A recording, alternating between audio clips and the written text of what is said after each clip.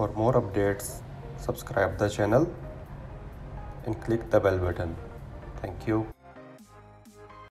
वालेकुम आज मैं आप सबको बताऊँगा कि आपने अपना एग्ज़िट एंट्री वीज़ा कैसे कैंसिल करना है अपने किसी डिपेंडेंट का या आपका कोई मेड है या ड्राइवर है उसका उसके लिए आप गूगल पर सर्च कर लें एम या W W W dot M dot G O V dot S से ओपन कर लें। ये मैंने गूगल पर सर्च किया है, पहला लिंक आ रहा है, इसको ओपन कर लें।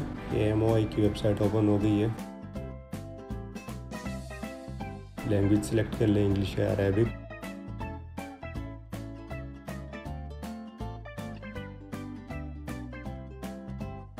लॉगिन पे क्लिक कर दें।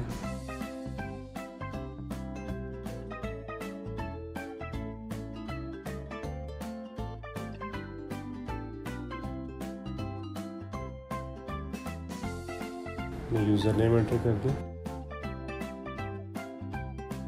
पासवर्ड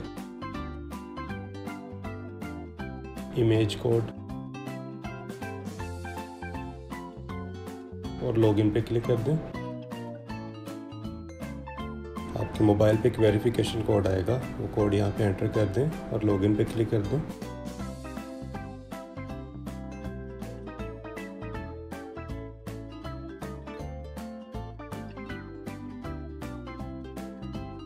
माई डैशबोर्ड पे क्लिक कर दें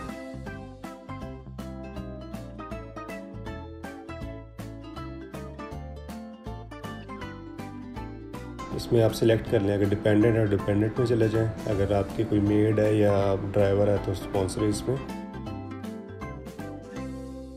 Next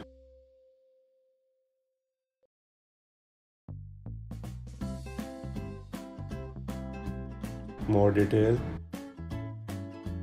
scroll down cancel visa इस पर क्लिक कर दें।